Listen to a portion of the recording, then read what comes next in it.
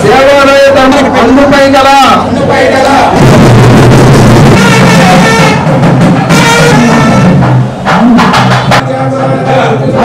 Thank you.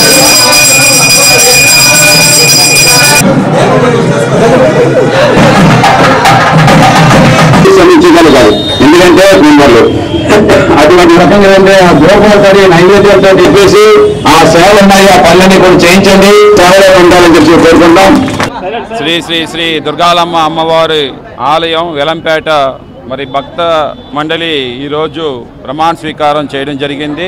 అత్యంత వైభవంగా town కొత్త రోడ్ నుంచి ఊరేగింపుగా అమ్మవారికి ప్రీతి అయినటువంటి కోలాటాలతోటి పులి వేషాలతోటి గరగల్ల డ్యాన్స్ తోటి తీన్మారు మొదలగు కార్యక్రమాలతోటి ఈ యొక్క తొమ్మిది మంది సభ్యులైనటువంటి చైర్మన్గా మన చాంద్ మాల్ అగర్వాల్ గారిని ఏకగ్రీయంగా ఎన్నుకోవడం కూడా జరిగింది.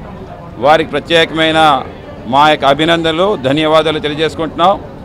మరి దుర్గాలమ్మ అమ్మవారి ఎంతో పవిత్రమైన ఆలయం ఇది.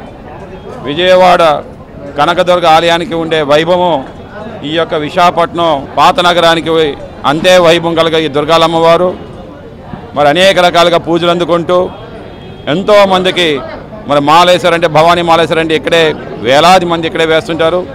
అలాగే కొన్ని మా కులాలకి కూడా కులదైవంగా కూడా భావిస్తారు ఈ ఆలయాన్ని. అటువంటి ఆలయాన్ని ప్రధానంగా ఒక మంచి వ్యక్తులు ఒక ఒక మంచి వ్యక్తి దైవత్వం కలిగిన వ్యక్తి చైర్మన్గా ఉంటే బాగుంటుందని చెప్పి భావించి అలాగే ఆ సభ్యులు కూడా దైవత్వంతో సమానంగా పనిచేసే వాళ్ళు ఉంటే బాగుంటుందని చెప్పేసి ఎందుకంటే మనలోనే ఒక ఆలయం ఉంటుంది అంటారు మనిషిలోనే ఒక ఆలయం ఉంటుంది అంటారు